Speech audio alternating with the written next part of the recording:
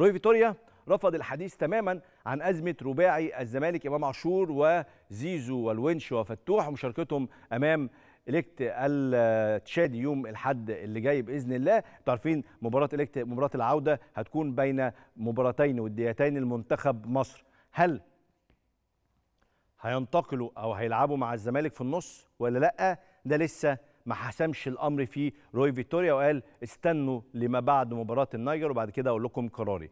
هل لاعبي نادي الزمالك هم من حق المنتخب الوطني في الفترة الحالية؟ طبعا. هو دي أجندة دولية وفيتوريا من حقه يقول لأ. بس اتصور أتصور يعني إن الأمور هتمشي.